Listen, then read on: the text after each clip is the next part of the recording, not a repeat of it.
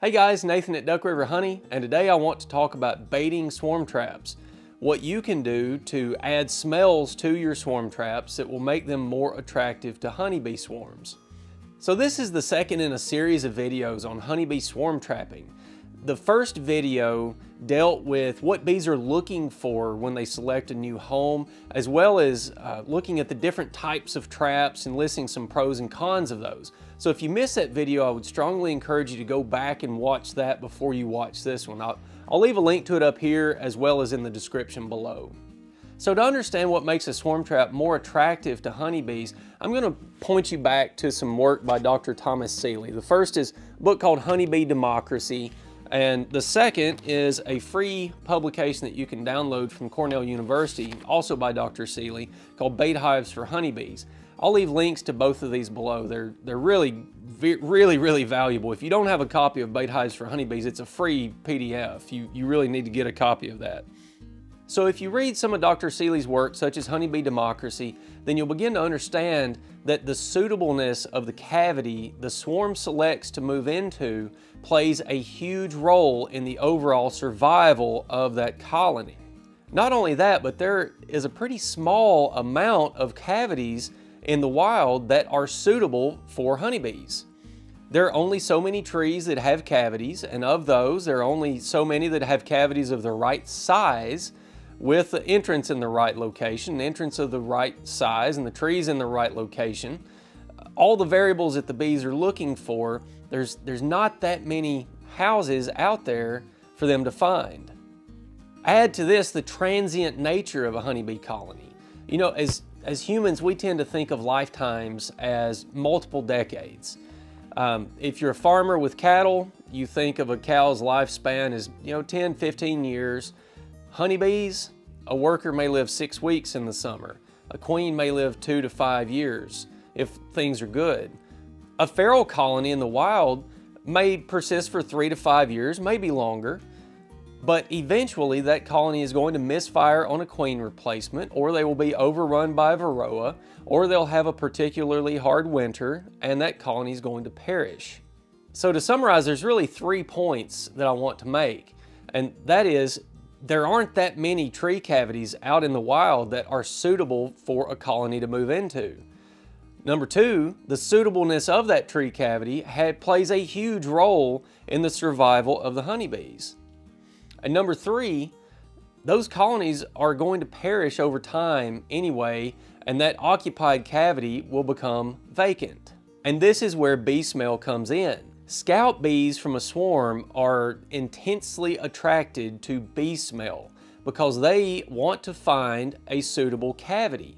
And the surest way to find a suitable cavity is to find a cavity that has been lived in by honeybees, where a colony was successful and then due to natural attrition, they perished. So this means that bee smell is really the fundamental key to attracting honeybees to your swarm trap. So let's move over to the bench here and we'll talk about the different types of bee smell and how they can be used in a swarm trap. So there's really six types of bee smells that I want to talk about today. And the first one is comb. And when you talk about comb, there's really two types. You've got honeycomb and you've got brood comb. Uh, honeycomb is usually nice and light and uniform. Brood comb gets darker and darker and darker with age. So bees find comb very attractive. And I'll reference Honeybee Democracy again here. I took some notes to shorten this up some. So most wild colonies will require about 100,000 cells of honeycomb. And it takes about 16 pounds of honey for them to make that much wax. That is about half the amount of honey that a swarm or colony needs to survive its first winter. So if you do the math here, if a swarm moves into a cavity that does not have any comb at all, it needs to get 16 pounds of honey to build the comb, and then it has to go out and collect 30 or 32 pounds of honey to fill that comb. Whereas if a swarm moves into a colony that already has comb in it, all they have to do is go out and get the 32 pounds of honey. So it's much less work for them and a much better chance of survival especially if it's a drought year or a year without a strong nectar flow. So both honeycomb and broodcomb are useful to bees, I believe that broodcomb might be more attractive simply because it has more bee smell. There's pheromones and all that brood smell in there uh, that will interest the bees. The problem with broodcomb is if there is bee bread or pollen or anything left in it, those proteins are extremely attractive to wax moths. You also have to be concerned with broodcomb, especially spreading disease. Uh, spores such as American foul brood and things like that can be harbored in the woodenware and in the comb and spread disease from colony to colony. So it may be illegal in some areas to use broodcomb inside a swarm trap. The next step in this is if you have comb that you can use, how do you use it inside a swarm trap? So I'll show you what I would do here. So all I'm doing here is putting in nine frames with heavy waxed plastic foundation. I'll take the 10th frame, which is a, a partially drawn honeycomb frame, and drop it in the middle.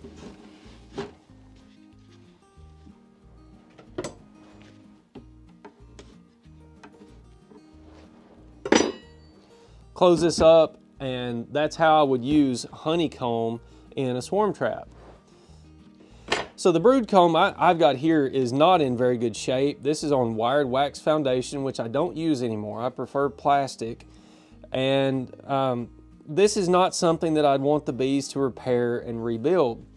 Besides that, this is very valuable. I think I can catch multiple swarms with this one frame of old brood comb. So what I'm going to do is actually pop the comb out of this frame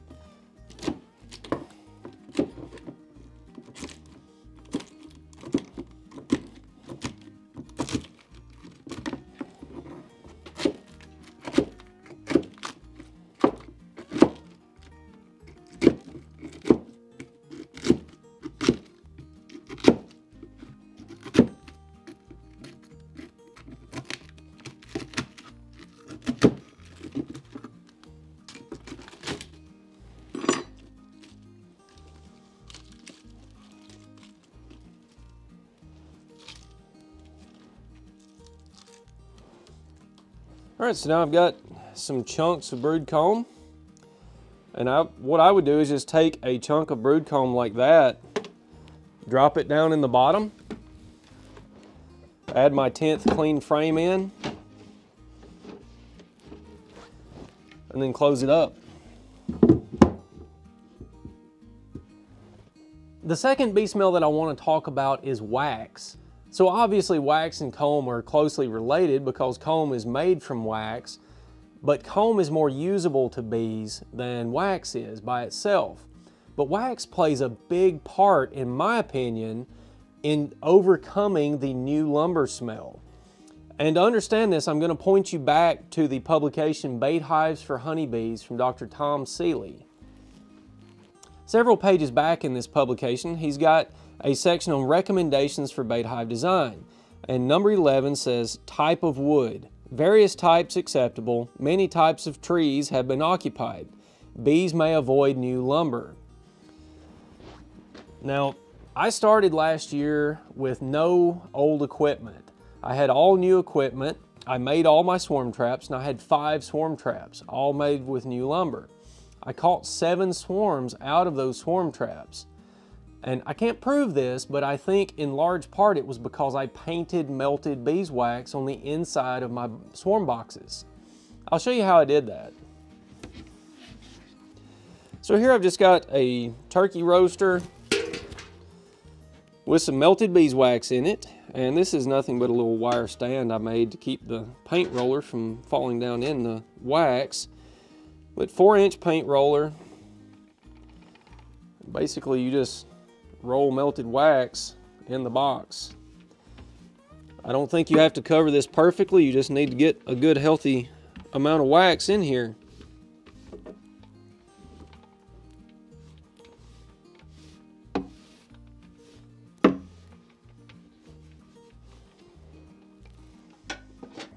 So now a lot of the new lumber smell I believe has been overcome and this box is going to be more attractive to honeybees.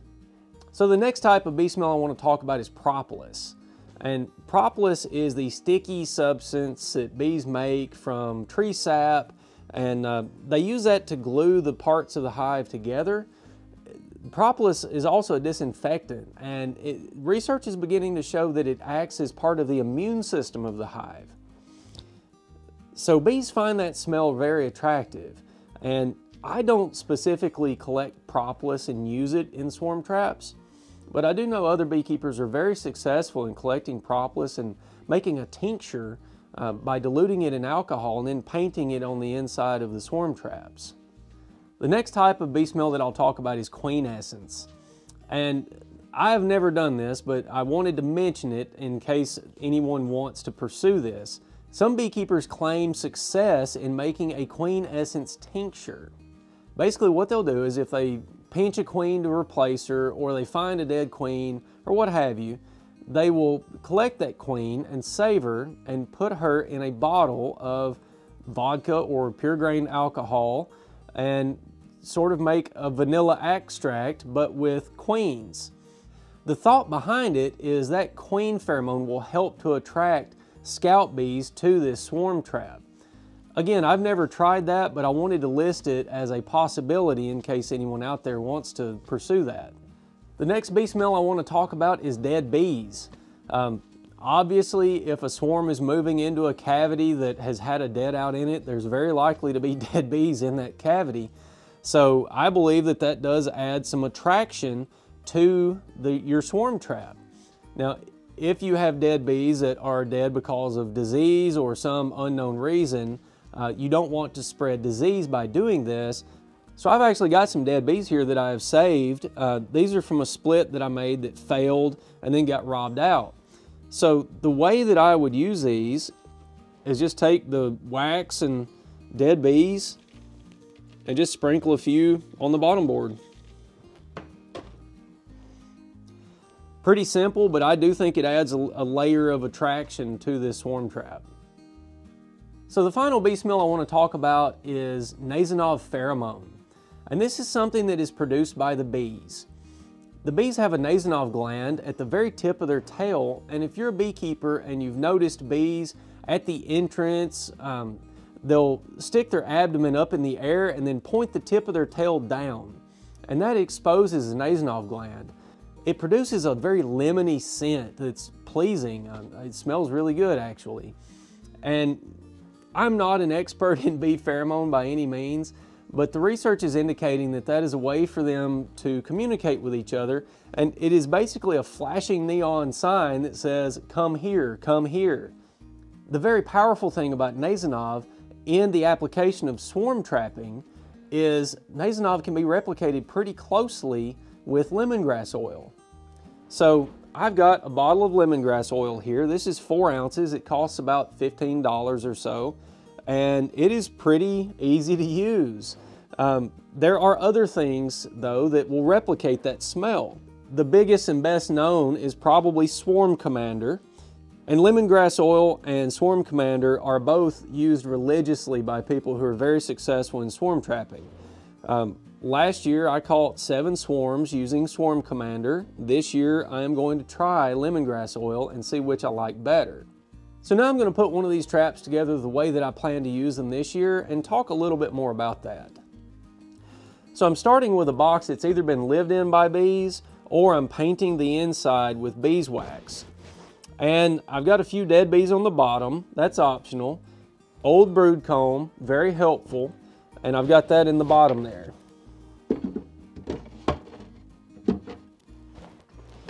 Then I'll put my frames in.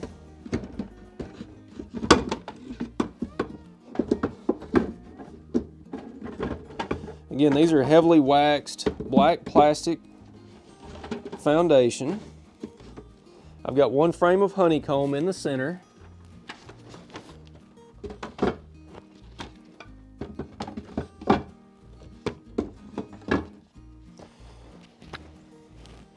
Now what I did last year using Swarm Commander is I would take a Q-tip and I'd get the Swarm Commander on the Q-tip, lay it on the top bar,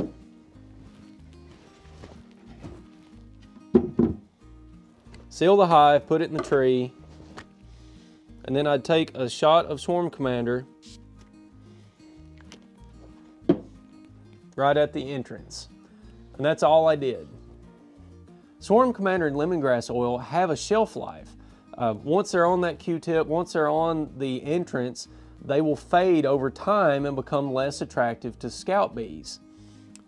So what I did to combat that is every week when I checked my traps, I would take my Swarm Commander and put a spritz on the entrance.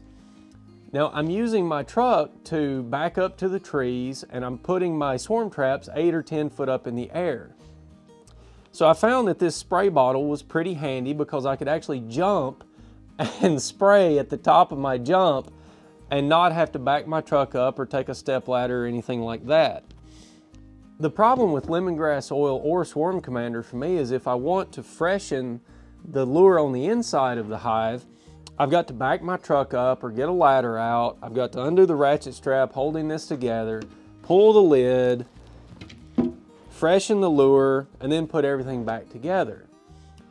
So this has led me to want to experiment with a different lure this year, and that is Mann Lake's Swarm Lure. Comes in this envelope. There are two vials in here, and it smells very much like lemongrass. It mimics that Nasonov pheromone but it's a slow release. It's a time release. In fact, it's supposed to last about three months before the smell is completely gone. So what I can do with this is I can pull some frames out. I can put this on the back of the hive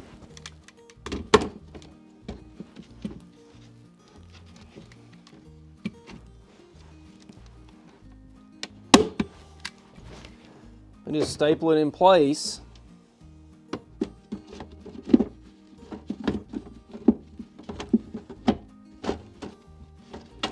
Then put my trap back together.